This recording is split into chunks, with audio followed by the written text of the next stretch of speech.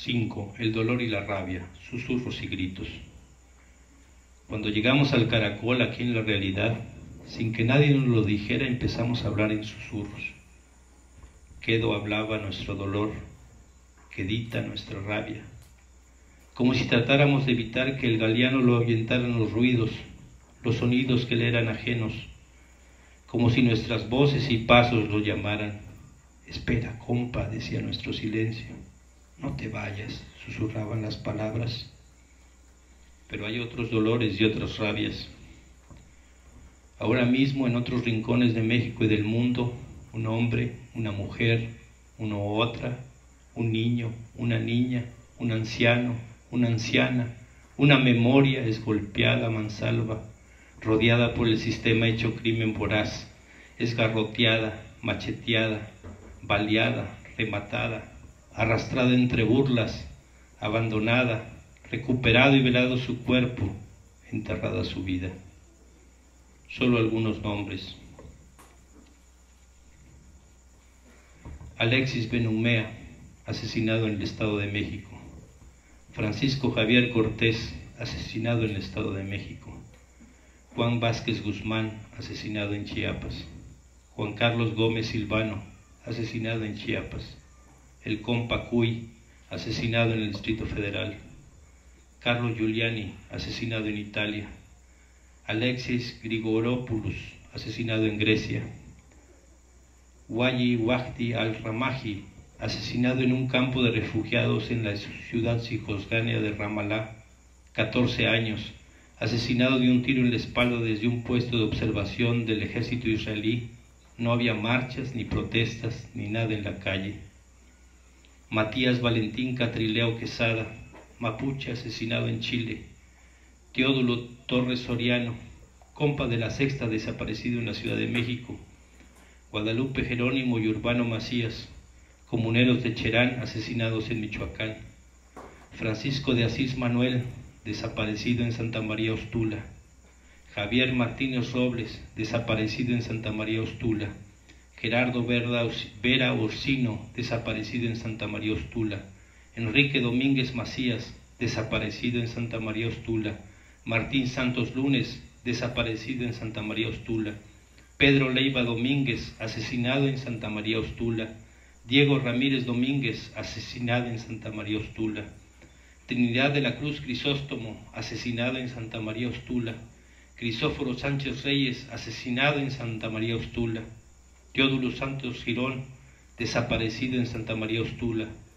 Logino Vicente Morales, desaparecido en Guerrero, Víctor Ayala Tapia, desaparecido en Guerrero, Jacinto López Díaz El Jasi, asesinado en Puebla, Bernardo Vázquez Sánchez, asesinado en Oaxaca, Jorge Alexis Herrera, asesinado en Guerrero, Gabriel Echeverría, asesinado en Guerrero, Edmundo Reyes Amaya, desaparecido en Oaxaca, Gabriel Alberto Cruz Sánchez, desaparecido en Oaxaca, Juan Francisco Sicilia Ortega, asesinado en Morelos, Ernesto Méndez Salinas, asesinado en Morelos, Alejandro Chao Barona, asesinado en Morelos, Sara Robledo, asesinada en Morelos, Juventina Villa Mojica, asesinada en Guerrero, Reinaldo Santana Villa, asesinado en Guerrero, Catarino Torres Pereda, Pereda, asesinado en Oaxaca, Betty Cariño, asesinada en Oaxaca.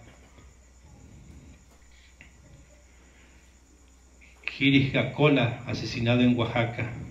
Sandra Luz Hernández, asesinada en Sinaloa.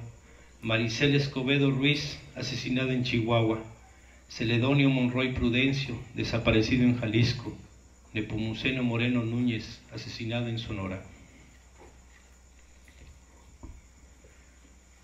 Los y las migrantes desaparecidas forzosamente y probablemente asesinadas en cualquier rincón del territorio mexicano, los presos a quienes se quiere matar en vida, Mumia Abu Yamal, Leonard Pertier, los Mapuche, Mario González, Juan Carlos Flores, el continuo entierro de voces de que vida fueron, silenciadas por el caer de la tierra y el cerrarse de las rejas, y la burla mayor es que en cada paletada de tierra que arroja el esbirro en turno, el sistema te va diciendo, no vales, no importas, nadie te llora, a nadie le da rabia tu muerte, nadie sigue tu paso, nadie levanta tu vida. Y con la última paletada sentencia, aunque agarren y castiguen a los que te matamos, siempre encontraré otro, otra, otros que de nuevo te embosquen y repitan la danza macabra que acabó con tu vida. Y dice, la justicia pequeña, enana, fabricada para que los medios de paga simulen y obtengan un poco de calma para frenar el caos que se les viene encima, no me espanta, no me daña, no me castiga. ¿Qué le decimos a ese cadáver al que en cualquier rincón del mundo de abajo se le encierra en el olvido? ¿Que solo nuestros dolor y rabia cuentan? ¿Que solo nuestro coraje importa? ¿Que mientras susurramos nuestra historia no escuchamos su grito, su alarido? Tiene tantos nombres la injusticia y son tantos los gritos que provoca, pero nuestro dolor y nuestra rabia no nos impiden escuchar.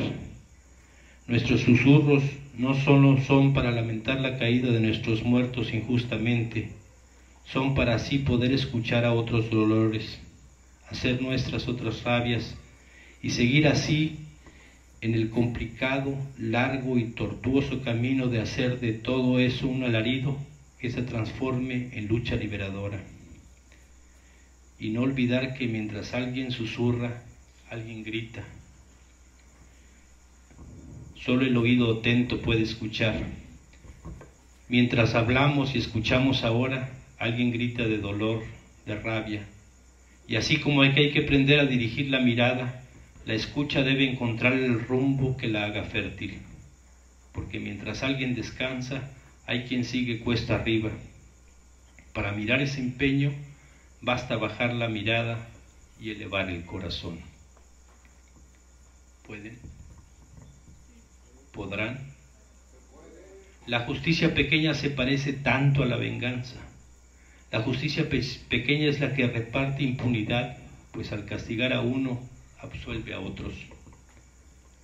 La que queremos nosotros, por la que luchamos, no se agota en encontrar los asesinos del compa Galeano y ver que reciban su castigo, que así será, que nadie se llame engaño. La búsqueda paciente y porfiada busca la verdad, no el alivio de la resignación. La justicia grande tiene que ver con el compañero galdiano enterrado, porque nosotros nos preguntamos no qué hacemos con su muerte, sino qué debemos hacer con su vida. Disculpen si entro en el pantanoso terreno de los lugares comunes, pero ese compañero no merecía morir, no así y si les puede, perdón, tanto su, em, todo su empeño, su sacrificio cotidiano, puntual, invisible para quien no fuera nosotros, fue por la vida. Y sí les puedo decir que fue un ser extraordinario y además, y esto es lo que maravilla, hay miles de compañeras y compañeros como él en las comunidades indígenas zapatistas, con el mismo empeño, idéntico compromiso, igual claridad y un único destino, la libertad. Y haciendo cuentas macabras, si alguien merece la muerte, es quien no existe ni ha existido, como no sea en la fugacidad de los medios de comunicación de paga. Ya nos ha dicho nuestro compañero jefe y vocero del EZLN, el subcomandante insurgente Moisés, que al asesinar a Galeano o a cualquiera de los zapatistas, los de arriba querían asesinar al STLN, no como ejército, sino como rebelde necio que construye y levanta vida, donde ellos, los de arriba, desean el páramo de las industrias mineras, petroleras, turísticas, la muerte de la tierra y de quienes la habitan y trabajan. Ya dicho que hemos venido como Comandancia General del Ejército Zapatista de Liberación Nacional a desenterrar a Galeano Pensamos que es necesario que uno de nosotros muera para que Galeano viva. Y para que ese impertinente que es la muerte quede satisfecha, en su lugar de Galeano ponemos otro nombre para que Galeano viva y la muerte se lleve no una vida, sino un nombre solamente, unas letras vaciadas de todo sentido, sin historia propia, sin vida. Así que hemos decidido que Marcos deje de existir hoy. Lo llevarán de la mano Sombra el guerrero y Lucecita para que no se pierda en el camino. Don Durito se irá con él, lo mismo que el viejo Antonio. No lo extrañarán las niñas y niños que antes se juntaban para escuchar sus cuentos, pues ya son grandes, ya tienen juicio, ya luchan como el que más por la libertad, la democracia y la justicia, que son la tarea de cualquier zapatista. El, gato perro y no un cisne entonará ahora el canto de despedida. Y, si fin, perdón, y al final, quienes entiendan, sabrán que no se va quien nunca estuvo, ni muere quien no ha vivido. Y la muerte será engañada por un indígena con el nombre de Galeano en la lucha, y en esas piedras que han colocado en su tumba volverá a andar y a enseñar a quien se deje lo básico del zapatismo, es decir, no venderse, no rendirse, no claudicar. Ah, la muerte, como si no fuera evidente que los de arriba los libera de toda corresponsabilidad, más allá de la oración fúnebre, el homenaje gris, la estatua estéril, el museo controlador. A nosotros, bueno, a nosotros la muerte nos compromete por lo que tiene de vida. Así que aquí estamos burlando a la muerte en la realidad. Dicho lo anterior, siendo las 2.08 en el frente de combate suroriental del EZLN, declaro que deja de existir el conocido como subcomandante insurgente Marcos, el autodenominado subcomandante de acero inoxidable. Eso es, por mi voz ya no hablará la voz del Ejército Zapatista de Liberación Nacional. Vale, salud y hasta nunca, o hasta siempre. Quien entendió sabrá que eso ya no importa y que nunca ha importado. Desde la realidad zapatista, su comandante insurgente Marcos, México, 24 de enero del 2014. Postdata 1. Game is over. Postdata 2. Jaque mate. Postdata 3. Tuche. Postdata 4. Ahí se ven raza y manden tabaco. Postdata 5. Mm, así que esto es el infierno. El infierno, perdón. Ese piporro, Pedro, José Alfredo. ¿Cómo? ¿Por machistas? Nah, no lo creo, si yo nunca. Postdata 5. O sea, como quien dice, sin la botarga, ¿ya puedo andar desnudo? Postdata 7. Oigan, está muy oscuro acá. Necesito una lucecita.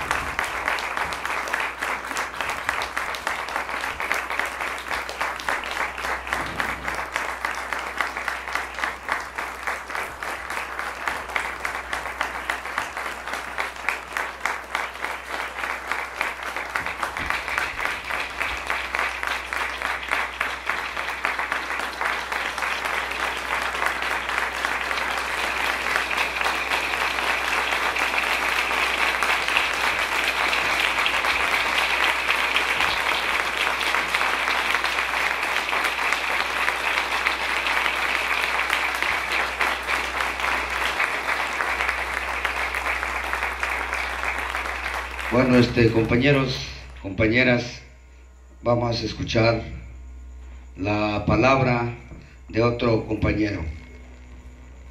Buenas madrugadas tengan compañeras y compañeros. Mi nombre es Galeano, su comandante insurgente Galeano. ¿Alguien más se llama Galeano? Yo me llamo Galeano. Yo me llamo Galeano. Todos somos galeanos.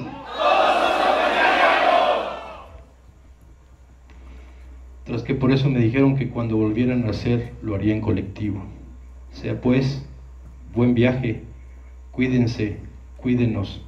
Desde las montañas del sureste mexicano, subcomandante insurgente Galeano.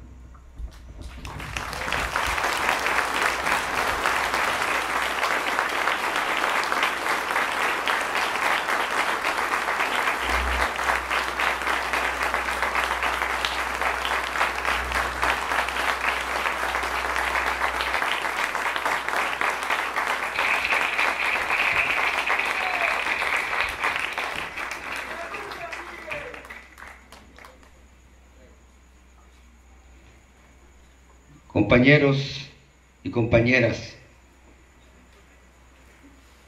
le agradecemos mucho al llegar a acompañar a los compañeros de la realidad. Ojalá que hayan entendido de lo que les explicamos allá. Se verá en sus lugares de donde viven Ojalá de que hayan este, comprendido y si no, allá ustedes. Nosotros aquí seguiremos. Muchas gracias por todo el esfuerzo que hicieron compañeros y compañeras.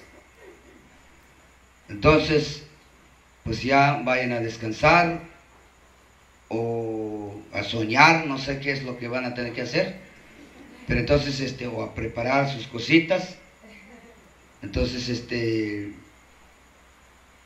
eso es lo que queremos eso, decirles y las mil gracias pues por la que llegaron hasta aquí en la realidad, compañeros y compañeras. Gracias.